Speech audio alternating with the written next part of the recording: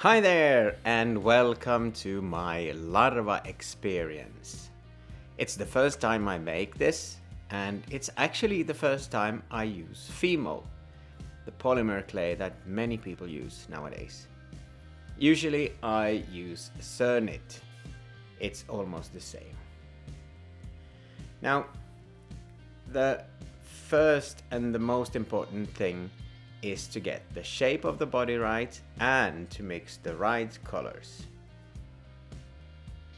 I use yellow as the base and then I have two different orange colors and I mix them to get this smooth transaction between yellow and orange. So start by mixing, stack them as a pile, push and roll and push and roll and then cut them into pieces.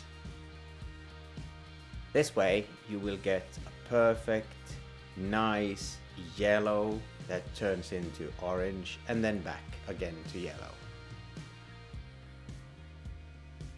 Always use a piece of paper or plastic, otherwise the clay might stain your table. You don't actually need many tools. I use a knife and a razor blade and, well, some kind of needle. I will show you that later. I start by stacking them to different orange and yellow small round pieces and then put them together.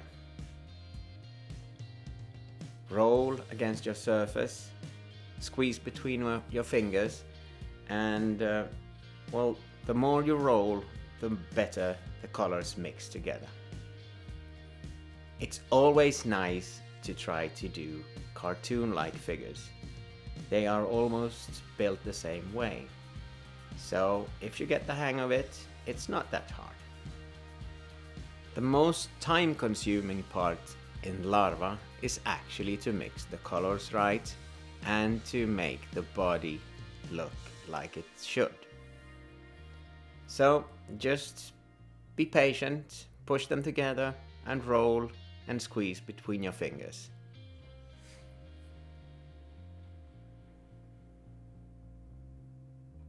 Now I have these flat round different colored pieces and I start by putting them together. I start with a little bit of orange, then yellow, orange, yellow, orange, and finish up with yellow where the head should be.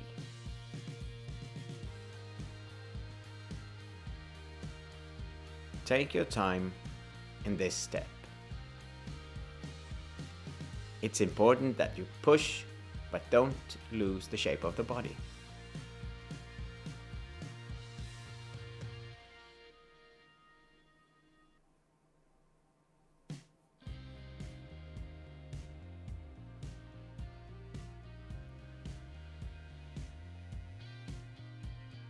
I finish up the body with a piece of orange that I put in the neck. It should not go all the way through to the face.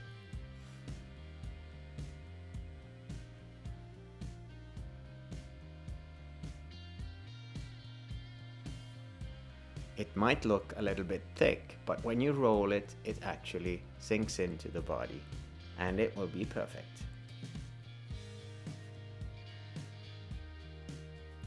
What I do now is put a little bit more yellow to the face because I need to make the eyebrows and the mouth.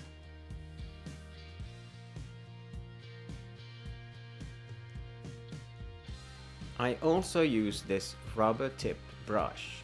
It's perfect for making holes and small details on your body. Now I make the mouth.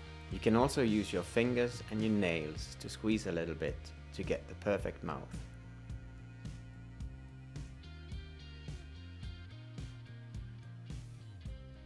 I roll a small piece of yellow to make the eyebrows.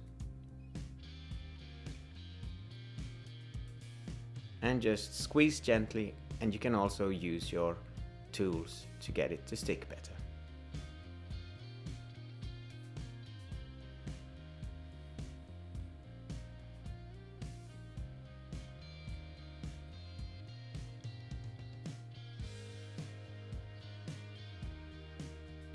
Take your time to get the facial expressions.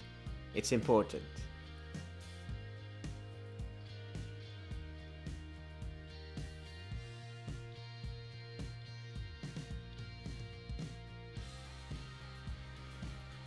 Cut two small pieces of orange to make the lips. You can put them there by using your fingers or with a tool. Remember to follow the instructions on the package, how to bake your polymer clay.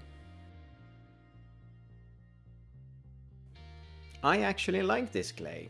It's uh, a little bit softer than Cernit that I'm used to, but this is really good to work with too. Uh, one other thing that you should always remember, keep your hands clean, otherwise you will get lots of lint and different colors in, mixed with your clay. Dust and a dirty surface might also ruin your work. I always try to make uh, the lighter colors first and then go to darker ones because otherwise I might just stain it with the darker. Now I try to make the face even better and it's time to make the nose. I cut two small pieces of black, tiny tiny round pieces and then I use my needle to stick them into the right place to make the nostrils. Just stick two small holes and put the small black dots in there.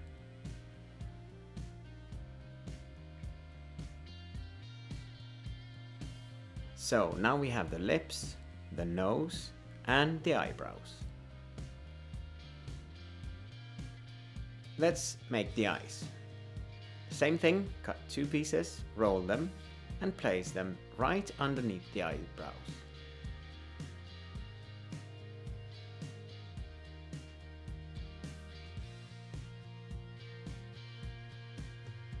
And again I use my tool to make the expression. I push a little bit right between the eyes.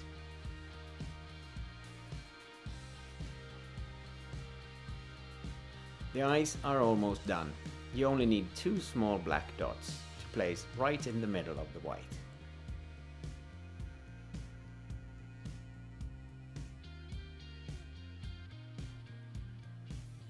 I have this small metal thread that I push right into the clay and I cover it with a little bit of yellow. This is going to be the antenna.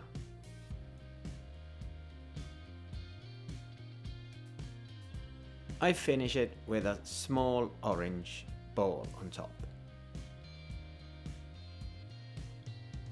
Now the only thing we have left is a tongue and two front teeth. I prepare the mouth and I put a small orange tongue in. There you go. And the only thing we have now is two front teeth. So I roll and cut a little bit of white, cut it and shape it to two front teeth and with my tool I just put them right on the upper lip.